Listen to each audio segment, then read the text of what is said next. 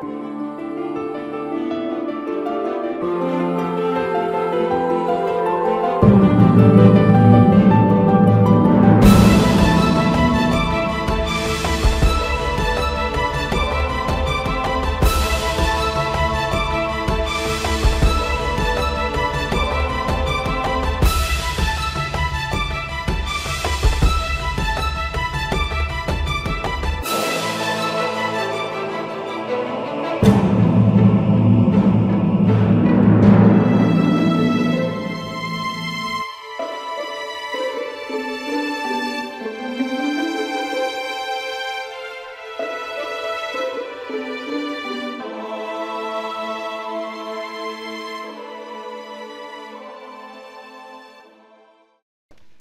Αγαπητοί μου φίλοι και φίλες, χαίρετε.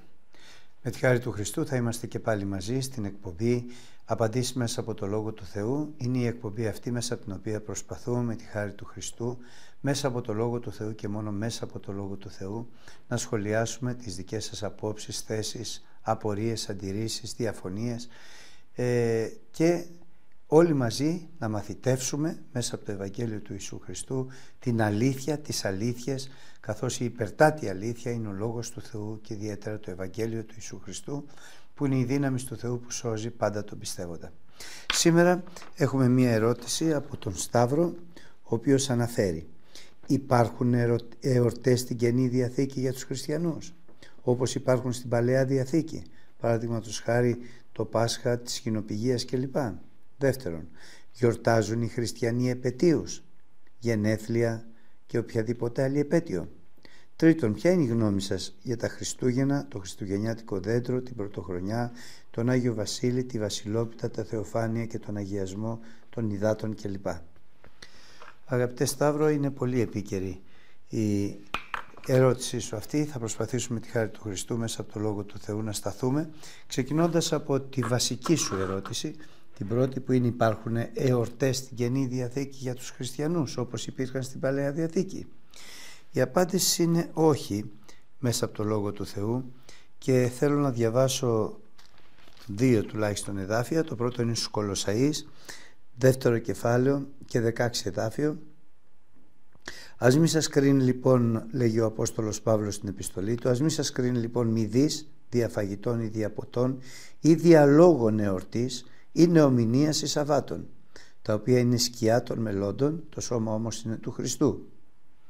Και ακόμη στην επιστολή του πάλι ο Απόστολος Παύλος προς Γαλάτες, στο κεφάλαιο 4 ε, και το εδάφιο 8, 9 και 10.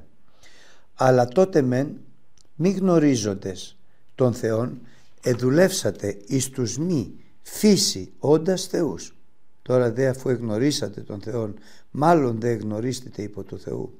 Πώς επιστρέφετε πάλι στα ασθενή και πτωχά στοιχεία στα οποία πάλι ως πρώτερον θέλετε να δουλεύετε; Ημέρας παρατηρείτε και μήνας και καιρούς και ενιαυτούς. Φοβούμε δια σας μήπως ματέως σε κοπίασα. Είναι μια θέση απόλυτη καταλητική θα τολμούσα να πω του Αποστόλου Παύλου, δηλαδή του Ευαγγελίου του Ιησού Χριστού, ότι ο άνθρωπος του Θεού ο οποίος ελευθερώθηκε από τα πατροπαράδοτα, από τα έθιμα, από τις απόψεις τις ανθρώπινες, ακόμη και τις θρησκευτικές, καθώς ήρθε ο Χριστός στη ζωή του, τον αναγέννησε, το έδωσε άλλη καρδιά, το έδωσε άλλο πνεύμα, το έδωσε νουν Χριστού, τον επισκέφθηκε και με το Πνεύμα το Άγιος να τον οδηγεί ο παράκλητος το Πνεύμα της αληθείας εισπάσαν την αλήθεια ε, πρέπει να γνωρίζει, γνωρίζει μέσα από το Λόγο του Θεού ότι δεν έχουν πια καμία αξία οι ημέρες, οι διαφορετικές, οι πιο άγιες τις οποίες έχουν κάποιοι άνθρωποι. Βεβαίως στην Παλαιά Διαθήκη υπήρχε ο εορτασμός α, συγκεκριμένων ημερομιών, ημερών του έτους αλλά και συγκεκριμένων γεγονότων όπως το Πάσχα, όπως το Σάββατο, όπως ε, τη σκηνοπηγία, όπως τον Ιλασμό, την μέρα των Σαλπίγκων, την εορτή των Σαλπίγκων. Υπήρχαν πολλές εορτές δοσμένες από το Θεό, τα οποία όμως ήταν σκιά των μελώτων. Όλα αυτά είχαν, ήταν, είχαν κάποιο σκοπό και κάποιο λόγο το οποίο εκπληρώθηκε με την έλευση του Ιησού Χριστού. Το Πάσχα δηλαδή όπου έσφαζαν το αρνίον και το, το, το, την πρώτη, τις 14 του, του πρώτου μηνός και εόρταζαν την έξοδό τους από, τα, από την Αίγυπτο, το Πάσχα δεν είναι τίποτα άλλο παρά το Πάσχα το δικό μας που είναι η Σταύρωση του Χριστού, την οποία εορτάζουμε κάθε Κυριακή. Καθώς λαμβάνουμε μέρος στην κοινωνία του σώματος και του αίματος του Χριστού, εις ανάμνηση της θυσίας του Χριστού. Η γιορτή λοιπόν θα τολμούσαμε να πούμε της Καινής Διαθήκης είναι η Κυριακή, η μέρα του Κυρίου, όπου εορτάζουμε τη θυσία του Ιησού Χριστού και μάλιστα με πραγματική ουσιαστική λατρεία τρώγοντας και πίνοντας το αίμα και το σώμα, το σώμα και το αίμα του Ιησού Χριστού. Μάλιστα ο Απόστολος Παύλος για αυτό το Πάσχα αναφέρεται στην επιστολή του την πρώτη προς Κορινθίους και διαβάζω από το πέμπτο κεφάλαιο και το εδάφιο 6 δεν είναι καλό το καύχημά σας. Δεν εξεύρετε ότι ο λίγη ζύμη κάνει όλο το φύραμα ένζυμο καθαρίστητε λοιπόν από τις παλαιάς ζύμης για να είσαστε νέον φύραμα καθώς είστε άζυμοι διότι το Πάσχα ημών θυσιάστη υπέρ ημών ο Χριστός ώστε ας εορτάζομεν ουχή με ζήμην παλαιάν αλλά με ζήμην, ουδέ με ζήμην κακίας και πονηρίας αλλά με άζημα ειλικρινίας και αληθείας. Το Πάσχα ημών βέβαια είναι η Κυριακή όπως ακόμη μιλάει στην επιστολή του προς Κορινθίους στο ΙΑ κεφάλαιο ο Κύριος μας ο Ιησούς Χριστός λέγοντας διότι εγώ αδελφοί ο Απόστολος Παύλος λέγει παρέλαβαν από το Κυρίο εκείνο το οποίο και παρέδωκα εις εσάς ότι ο Κύριος Ιησούς εν τη νυχτή καθήν παρεδίδετο έλαβε νάρτον και ευχαριστή σας έκοψε και είπε λάβετε φάγετε τούτο είναι το σώμα μου το υπερικμόν κλώμενον τούτο κάμνετε εις την ανάμνησή μου και αυτό ήταν το Κυριακό δείπνο. Το, ο δείπνο, η κοινωνία δηλαδή του σώματος και του αίματος του Ιησού Χριστού κάθε Κυριακή. Εορτές λοιπόν στην Καινή Διαθήκη τολμώ να πω ότι δεν έχουμε άλλες, δεν μας έχει δώσει εντολή ο, ο Λόγος του Θεού, αλλά ούτε στην πρώτη Αποστολική Εκκλησία βλέπουμε ο Απόστολος Πέτρος ή ο Απόστολος Παύλος να εορτάζουν άλλες εορτές. Αντίθετα όπως διάβασα, προτρέπει και μάλιστα με φόβο ο Απόστολος Παύλος λέγοντας «Φοβούμε δια σας μήπως ματέως εκοπίασα εάν παρατηρείτε ημέρας και μήνες και καιρούς και έννοια αυτούς». Αλλά εορτές, άρα εορτές στην Εκκλησία του Χριστού στην Καινή Διαθήκη δεν φαίνεται μέσα από το Λόγο του Θεού αλλά ούτε και από την αρχαία εκκλησία, τους αποστολικούς χρόνους, δηλαδή μέχρι το 150-200 να υπάρχουν εορτές τέτοιες. Οι εορτές ήλθαν πολύ αργότερα και επειδή αναφέρθηκες αγαπητέ αδελφέ Σταύρο στις γιορτές που τώρα εορτάζουμε στην πατρίδα μας Χριστούγεννα και τα έθιμα, Χριστουγεννιάτικα δέντρα, Πρωτοχρονιά, Άγιο Βασίλη, Βασιλόπιτα, Θεοφάνεια, Αγιασμός Υδάτων. Ας αναφερθούμε λίγο σε αυτά για να δούμε πότε ξεκίνησαν, πώς ξεκίνησαν έτσι όπως αναφέρονται ιστορικά. Η ημέρα των Χριστουγέννων καθορίστηκε το 4ο αιώνα μετά Χριστός στις 25 Δεκεμβρίου από τον Πάπα Ιούλιο τον Πρώτο αναφέρεται στην ιστορία και συνέπεσε με το ηλιοστάσιο δηλαδή την ημέρα της 25ης Δεκεμβρίου με το ηλιοστάσιο την επιστροφή του ηλίου και αυτή ήταν μια ειδωλολατρική καταρχάς εορτή όπου εορταζόταν ο Θεός ο ήλιος. Και επειδή είχε ενοποιηθεί με διάταγμα του αυτοκράτορα της εποχής εκείνης υποχρεωτική θρησκεία ο χριστιανισμός με αποτέλεσμα όλοι οι ιδεολολάτρες να υποχρεωθούν να γίνουν χριστιανοί κουβάλισαν οι ιδεολολάτρες τα δικά τους έθιμα όπως ήταν η γιορτή του ηλίου που ήταν ο σημαντικότερος θεός της εποχής εκείνης που εορταζόταν στις 25 Δεκεμβρίου. Αλλά και όλα τα έθιμα των Χριστουγέννων, δηλαδή ανταλλαγή δώρων, στολισμοί, κάλαντα, είναι παραδόσεις που συνδέονται και έχουν τις ρίζες τους σε παλαιότερες ειδωλολατρικές θρησκείες και έθιμα. Ιδιαίτερα δε το χριστουγεννιάτικο δέντρο, το οποίο ονομάστηκε και χριστουγεννιάτικο και έχει συνδεθεί απόλυτα με την γέννηση του Χριστού, είναι ένα έθιμο το οποίο ξεκίνησε από την λατρεία ιδίως των βορείων Ευρωπαίων ανθρώπων και τις θρησκείες των ανθρώπων αυτών προς τα δάση και προς τα δέντρα. Και για να καλοπιάσουν τα, τις νεράιδες αλλά και τα δαιμόνια των δέντρων όπως το τα λάτρευαν, έκοβαν ένα δέντρο, το έφεραν μέσα και το στόλιζαν εις ένδειξη χαράς και εις ένδειξη εύνοιας, να ελκύσουν την εύνοια των θεοτήτων τους. Βεβαίως έχω ακούσει, αυτό δεν το έχω δεν είμαι βέβαιος αλλά έτσι έχω ακούσει ότι και σατανιστές μέσα στις λατρείες τους έχουν, στολίζουν δέντρα με διάφορα κεριά ή κάτι τέτοιο που δεν θα ασχοληθούμε με αυτό.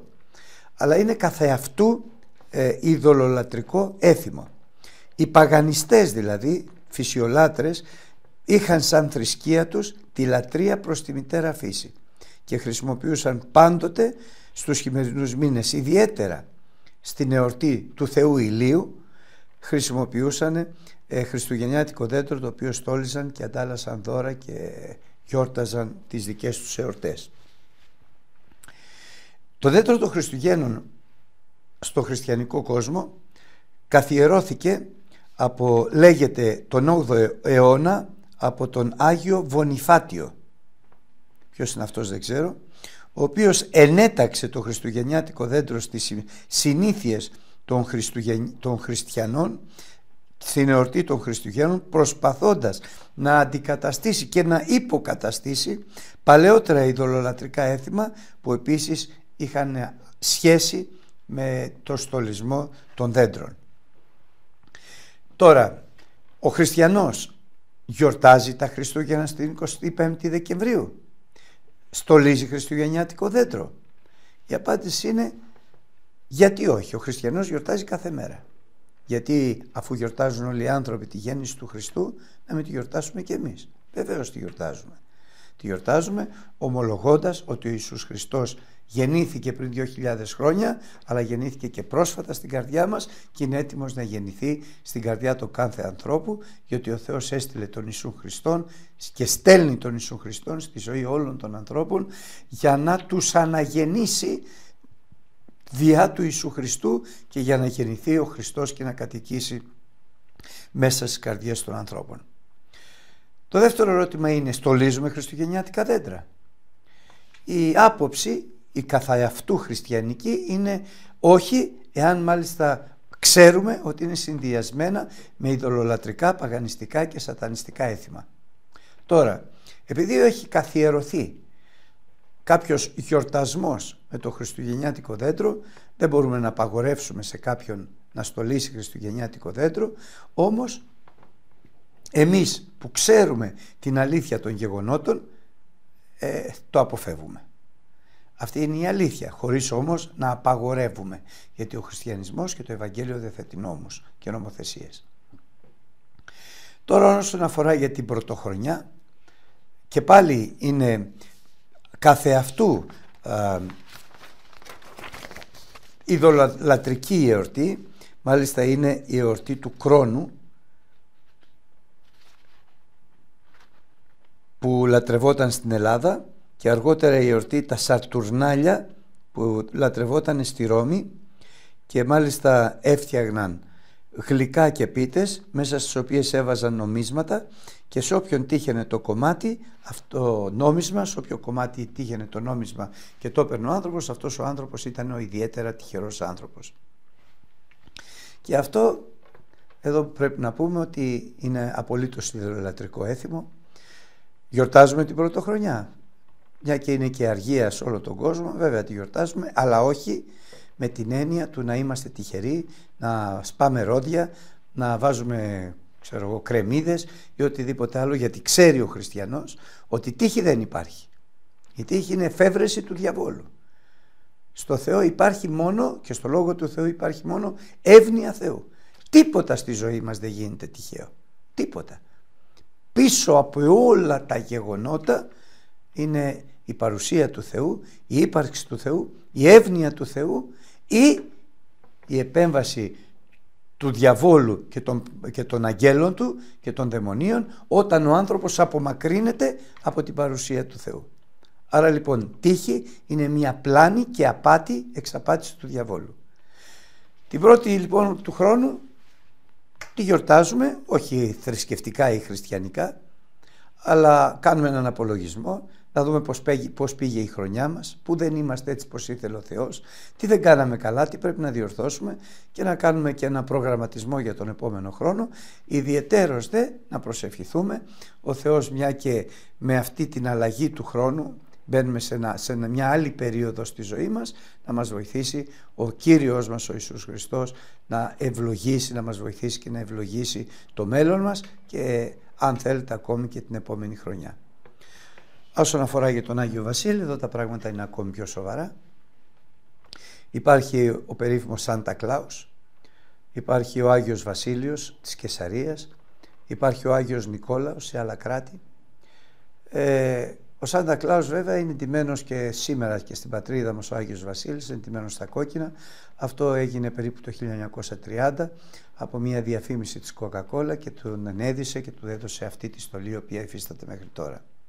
Όμως αν πάρουμε την α, λαογραφία που υπάρχει για τον Σάντα Κλάους, για τον Άγιο Βασίλη, για όπως θέλετε πέστε τον, έτσι πως επικρατεί σήμερα, δεν μιλάω για τον Άγιο άνθρωπο του Θεού, το Βασίλειο της Κεσαρίας, έτσι, Μιλάω για αυτόν τον Άγιο Βασίλη που λατρεύουμε, που, που γιορτάζουμε, που υπάρχει σε όλο τον κόσμο. Είναι κάποιος ο οποίος έχει, βρίσκεται κάπου στα, στη Βόρεια Ευρώπη.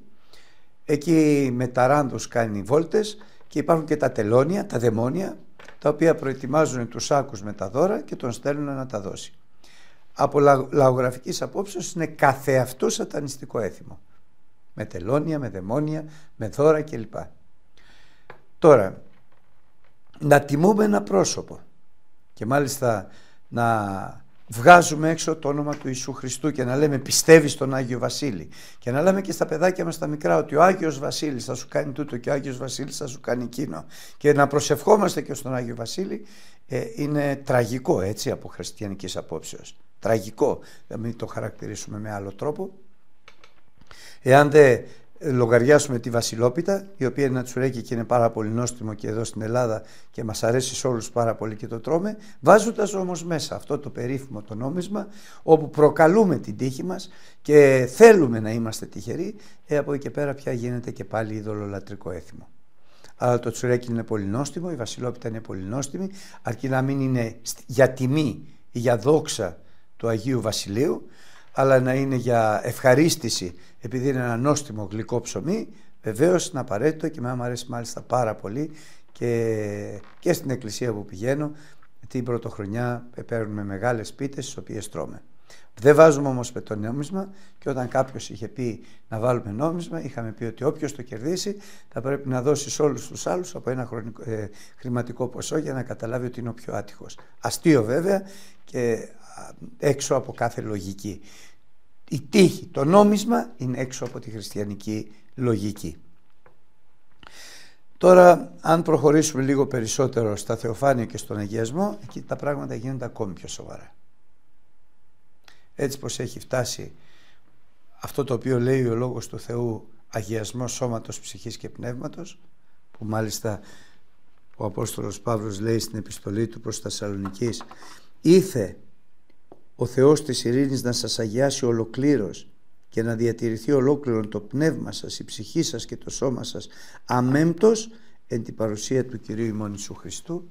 Οι άνθρωποι το έχουν βγάλει, αγιασμός υδάτων και μετέτρεψαν τον αγιασμό, την Αγία Ζωή σε νεράκι και με το νεράκι πιστεύουν αφενός μεν ότι αγιάζεται ο άνθρωπος, αγιάζεται ο τόπος, φέρνει καλή τύχη φέρνει γούρι, κάνουν αγιασμό σε επιχειρήσεις, σε σπίτια για να έρθει η τύχη καλή και για να απομακρυνθούν και τα δαιμόνια. Πράγματα τα οποία είναι απολύτως ιδεολατρικά και πέρα.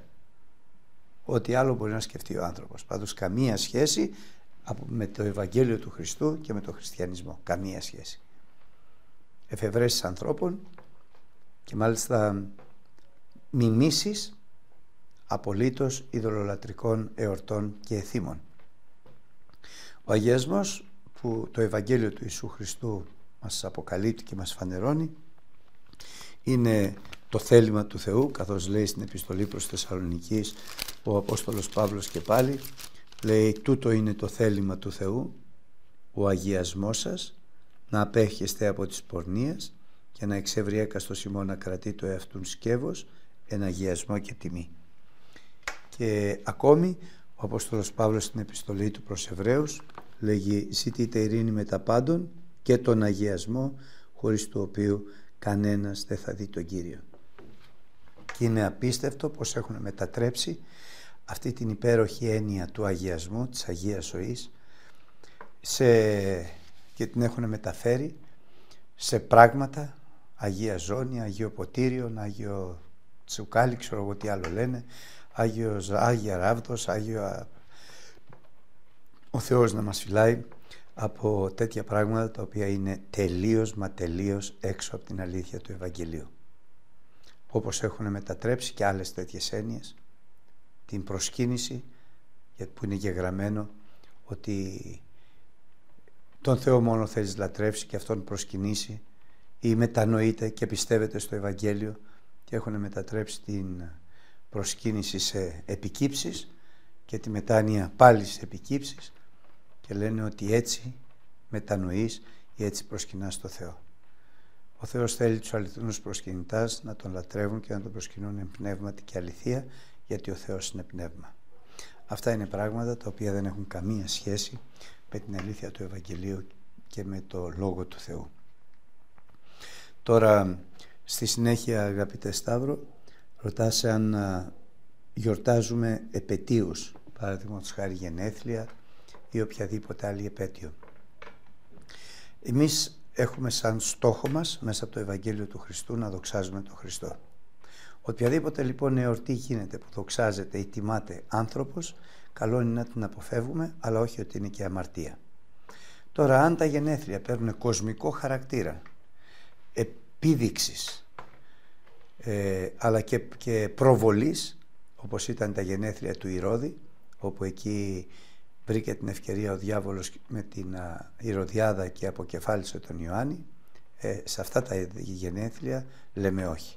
Στα γενέθλια της επίδειξης, της, της προβολής και του μεγάλου κοσμικού και σαρκικού ενδιαφέροντος, όπου μαζεύονται για να δείξουν ο καθένας τον πλούτο του, αλλά και την ομορφιά του, αλλά και οτιδήποτε άλλο έχουν να δείξουν οι άνθρωποι μέσα στον κόσμο αυτό. Τα γενέθλια σαν χαρά οικογενειακή σαν ανάμνηση της γέννησης του παιδιού, σαν προσφορά κάποιων δώρων και της αγάπης των γονιών, των παππούδων και των στενών συγγενών σε ένα μικρό παιδάκι, αλλά και σε έναν μεγαλύτερο, βεβαίως δεν είναι αμαρτία και βεβαίως ε, δεν είναι απαράδεκτο, είναι αποδεκτό. Αλλά σαν κοινωνική προβολή, σαν εκκλησιαστικό ιδιαίτερος γεγονός. Εκκλησιαστικό γεγονός είναι απαράδεκτο. Δεν, δεν το κάνουμε, δεν μπορούμε. Ταυτό, κατά τον ίδιο τρόπο ε, εξετάζουμε όλες τις επαιτίους των ανθρώπων, όποια επέτειος και είναι. Ονομαστική εορτή προφανώς δεν υπάρχει, γιατί οι εορτές στην πρώτη Αποστολική Εκκλησία δεν υπήρχαν. Παρ' όλα αυτά, επειδή έχει επικρατήσει το Αγίου Γεωργίου, με με λένε Γιώργο, του Αγίου Νικολάου, και όταν οι άνθρωποι μου λένε χρόνια πολλά, χαίρομαι και τους ευχαριστώ για την ε, ευχή τους, γιατί και ο Δαβίδ λέει δεν είναι καλό να με πάρεις Κύριε το ημίση των ημερών μου. Από αγάπη λοιπόν μου εύχονται και χαίρομαι. Τώρα όμως να κάνω μια μεγάλη γιορτή για να φανώ εγώ, να είμαι το τυπόμενο πρόσωπο, έως και το δοξαζόμενο πρόσωπο ανάμεσα στους ανθρώπους, αυτό δεν αρέσει το Θεό και δεν αρέσει και σε εμάς. Οι επαιτίους τώρα, οι επέτειοι γάμων που μου έρχονται στο μυαλό, απαγορεύεται βεβαίως όχι. Ο κάθε φορά που θυμάμαι πότε παντρεύτηκα με τη γυναίκα μου, παντρευτήκαμε μάλιστα 7-9 του, ε, με οι δυο μας φεύγουμε, πηγαίνουμε, τρώμε, μαζί, ε, θυμόμαστε τα παλιά, τα παιδιά μας ε, χαίρονται και αυτά μαζί μας, αλλά και πάλι τιμόμενο πρόσωπο και δοξαζόμενο πρόσωπο σε καμία συγκέντρωση δεν είναι δυνατό να είναι άνθρωπος παρά μόνο ο Ιησούς Χριστός. Αγαπητοί μου φίλοι και φίλες, αυτά είναι για τις γιορτές και ιδιαίτερα για τις ε, ε, επίκαιρες γιορτές των Χριστουγέννων, της Πρωτοχρονιάς, των δέντρων, της Βασιλόπιτας, των Θεοφανίων. Γιορτάζουμε και χαιρόμεθα. Εάν λοιπόν η, η έννοια της εορτής έχει την έννοια της χαράς, εμείς χαιρόμαστε όχι μόνο αυτές τις ημέρες, αλλά με τη χάρη του Χριστού, καθώς ο Απόστολος Παύλος λέει χαίρεται και πάλι πει χαίρεται και πάντα χαίρεται, χαιρόμαστε πάντοτε και χαιρόμαστε και με τους συνανθρώπους μας, τους συγγενείς μας που ακόμη δεν έχουν γνωρίσει την αλήθεια του Ευαγγελίου, δεν τους έχει αναγεννήσει ο Χριστός, προσευχόμαστε, τους μιλάμε για τον Κύριο. Ε, όλα αυτά λοιπόν τα απολαμβάνουμε μαζί με αυτούς, χωρίς όμως να επισερχόμεθα στη λατρεία τους και στα έθιμά τους τα οποία αντιβαίνουν και παραβαίνουν το Λόγο του Θεού.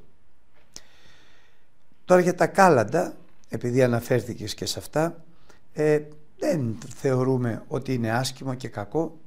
Βέβαια υπάρχουν κάλαντα που λατρεύουν τη μητέρα του Κυρίου, υπάρχουν κάλαντα που λατρεύουν τον Άγιο Ιωάννη. Ε, εντάξει, τι να πούμε τώρα, εάν τα παιδιά χαίρονται, αρκεί και πάλι ε, να ξέρουμε εμείς όσοι έχουμε γνωρίσει το Ευαγγέλιο του Χριστού, την αλήθεια του Ευαγγελίου ή προσπαθούμε μέσα από το Ευαγγέλιο να βρούμε το θέλημα του Θεού, του αγαθών, το ευάρεστο και το τέλειον, ότι όλα αυτά είναι ματαιότητες. Ματαιότητες. Και είναι βέβαιο, γιατί είναι γραμμένο και η γραφή δεν δύναται να νερεθεί, ότι θα γίνει πνευματικός σεισμός που θα γκρεμίσει τα σαλευόμενα για να φανερωθούν τα ασάλευτα ότι είναι ένδοξα και αληθινά. Και αυτόν τον σεισμό τον ζήσαμε, τον ζούμε και θα συνεχίζουμε να τον ζούμε στη ζωή του κάθε ανθρώπου όταν έρθει ο Ιησούς Χριστός και γκρεμίσει τα έργα του διαβόλου. Εκείνο όμως που θέλω τελειώνοντας να, να επιμείνω ε, γιατί το θεωρώ με τη χάρη του Χριστού απόλυτα σοβαρό είναι ότι παρατηρείτε τα τελευταία χρόνια και όσο πλησιάζουμε πιο πρόσφατα ακόμη περισσότερο το να κρύβουμε το όνομα του Χριστού, ευχές καλά, καλά Χριστούγεννα, δεν ακούγονται πια, ούτε διαβάζονται πουθενά. Παρατηρήστε και εμένα μου το έπανε και το παρατήρησα με έκπληξη. Δεν βλέπω καλά Χριστούγεννα πουθενά. Όταν λίγα χρόνια αργότερα ερχόντουσαν τα Χριστούγεννα, παντού έβλεπα το Merry Christmas, έβλεπα καλά Χριστούγεννα και όλοι μιλάγανε για τον Χριστό. Τώρα έχουν αντικαταστήσει τον Χριστό με τον Άγιο Βασίλη και προσπαθούν να στρέψουν την πίστη των ανθρώπων στο περίφημο Σάντα Κλάους που κατά την ταπεινή μου γνώμη δεν είναι τίποτα περισσότερο παρά μια προσωποποίηση, μια, ένα είδωλο του προσώπου που είναι έξω από την παρουσία του Θεού του διαβόλου των δαιμονίων μαζί με τα αντελαιώνια που τα παρουσιάζουν σαν να θέλουν τόσο πολύ να φέρουν χαρά στους ανθρώπους με τα δώρα ενώ όμως ξέρουμε πάρα πολύ καλά ότι ο διάβολος είναι ανθρωποκτόνος μισή τον άνθρωπο και μόνο ταλαιπωρία, δυστυχία φέρνει ο άρχον του κόσμου του, του ο διάβολος. Αγαπητοί μου φίλοι και φίλες, καλά Χριστούγεννα. Ο Κύριος να σας ευλογήσει και μιλάω για εκείνα τα Χριστούγεννα τα προσωπικά, όχι τα ετήσια, αλλά τα προσωπικά του κάθε ανθρώπου, όπου όποιος επικαλεστεί το όνομα του Χριστού σώζεται και ο Ιησούς Χριστός γεννιέται μέσα στην καρδιά του μέσα στη ζωή του γίνεται Κύριος και βασιλεύει στους αιώνας των αιώνων. Εδώ τελειώσαμε και για σήμερα. Ευχαριστούμε το Θεό για όλα και για σας που μας παρακολουθήσατε. Σας θυμίζουμε ότι παρακολουθήσατε την εκπομπή «Απαντήσεις μέσα από το Λόγο του Θεού». Είναι μια εκπομπή που εσείς τη δημιουργείτε με τα σχόλιά σας, τις ερωτήσεις σας, τις απορίες σας που μας στέλνετε στη διεύθυνση που φαίνεται τώρα στην οθόνη σας. Μέχρι την άλλη εκπομπή σας ευχόμαστε κάθε καλό και κάθε ευλογία από τον Κύριο μας τον Ιησού Χριστό. Αμήν.